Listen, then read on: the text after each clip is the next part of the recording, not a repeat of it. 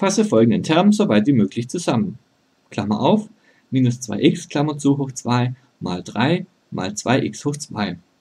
Beim Term zusammenfassen benötigen wir unsere Rechenregeln, und zwar in folgender Reihenfolge. Erstens Klammern auflösen.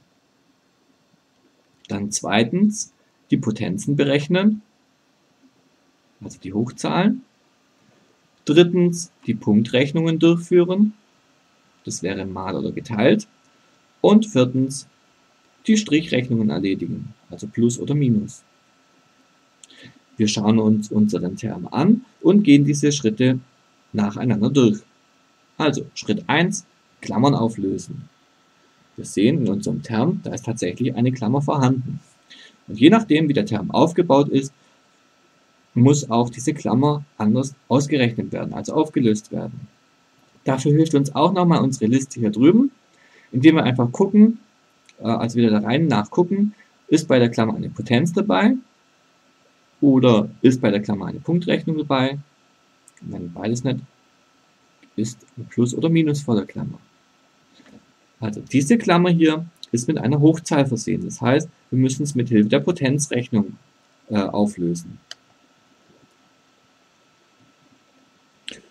So, wenn es heißt, Klammer auf, minus 2x, Klammer zu, hoch 2, bezieht sich dieses hoch 2 auf alle Elemente in der Klammer.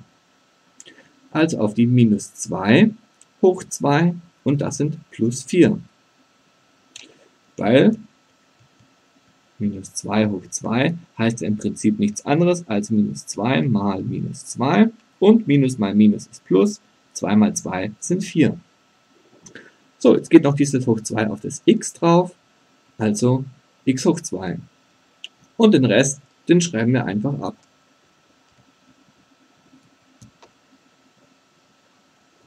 So, damit wäre der erste Punkt Klammern auflösen erledigt. Punkt 2, Potenzen berechnen. Wir haben nur eine Potenz, also ja, im Prinzip zwei Potenzen, also Hochzahlen, aber beide sind über der Variable. Und wenn sie über der Variable ist, können wir nichts weiter berechnen oder auch nichts weiter vereinfachen. Das heißt, diesen Punkt können wir auch abhaken. Kommen wir zum dritten Punkt. Äh, die Punktrechnungen durchführen. Wir haben hier zweimal, also zweimal das Multiplikationszeichen drin. Das heißt, diese drei Terme lassen sich multiplizieren. Wir können wieder wie folgt vorgehen. Erstens wir sortieren erstmal diesen Term wieder. Und zwar in Zahlfaktor nach vorne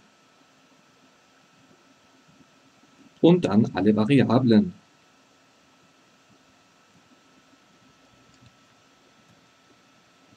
Das heißt also, wir fangen hier an mit 4 mal, dann kommt hier die 3 und vom letzten Teil mal 2. So, dann brauchen wir noch die Variablen. Vom ersten Teil kriegen wir ein x. Der zweite Teil hat keine Variable, können wir also gleich weitergehen. Und vom dritten Teil kriegen wir nochmal ein x Quadrat. So, dann kommt der nächste Schritt. Zweitens also die Zahlfaktoren ausmultiplizieren.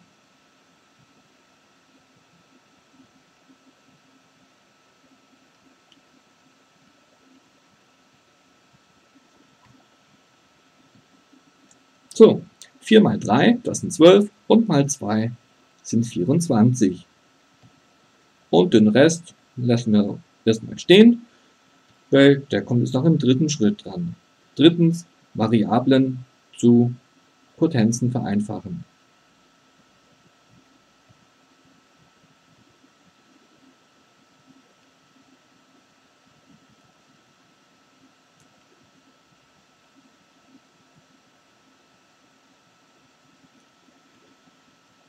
So, diesmal lassen wir die 24 einfach stehen, weil das ist ja keine Variable.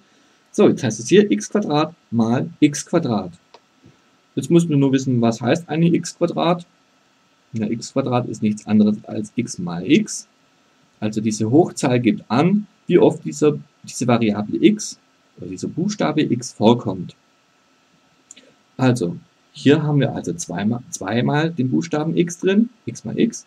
Das gilt für hier nochmals. Also haben wir insgesamt den Buchstaben x, oder die Variable x, viermal vorhanden. Also können wir das zusammenfassen zu x hoch 4. So, ähm, jetzt haben wir nur noch steht 24 mal x hoch 4, also eine Zahl mal eine, mal eine Variable. Da können wir gar nichts mehr vereinfachen. Die Punktrechnung ist also fertig.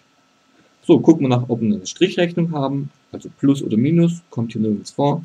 Also können wir auch diesen Punkt abhaken. Und ähm, wir haben diesen Term soweit wie möglich zusammengefasst.